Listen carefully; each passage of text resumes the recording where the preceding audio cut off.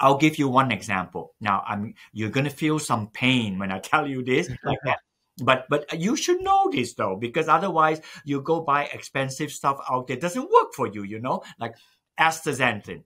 Everybody know astaxanthin. Like that is good for it's good for you. Oh, like that. Astaxanthin has this side here, OH group here, another OH group here. So it's a double-headed thing. So that is a good antioxidant. Uh-huh. However, astaxanthin on the other end here has exactly the same thing here. So therefore, if you have a phospholipid, water soluble and lipid soluble, how are you going to expect? Think of this as a two-headed snake, a snake in the head and a snake in the tail. So if you have astaxanthin, this astaxanthin would work like this. It'll come out sticking out like that. This is as awkward as it's ever going to be because all the phospholipids are like this. If you, how about for the moment you don't believe me?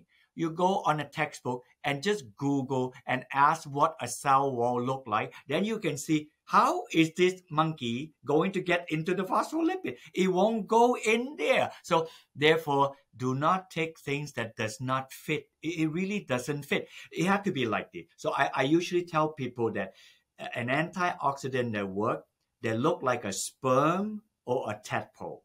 Where the head is like this sticking out and this thing sticks in like that. Now, in the back of me, I'm going to go away now. In the back of me, here, I, I want the audience to see this. Okay, that is a CoQ10 molecule. I'll take this away. See that? Yeah. Uh, on the CoQ10 molecule, on the other end, that's the antioxidant. It sticks out, and this big long long tail sticks into the phospholipid. So when our body make coq10 it stay there. It is its permanent residence. It usually never moves from there.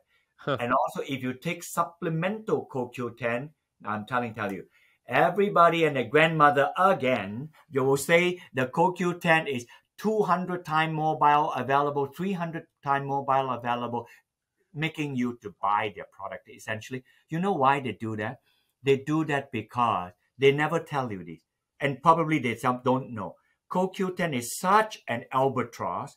It is very hard to absorb in the body. Just look at the darn thing. It's like yeah, an albatross, huge. you know? So and, and then when you go into the blood, that's only in the blood. This this guy is supposed to be in the cell. So the best way to make CoQ10 is actually let the body make CoQ10 probably evolutionary bent.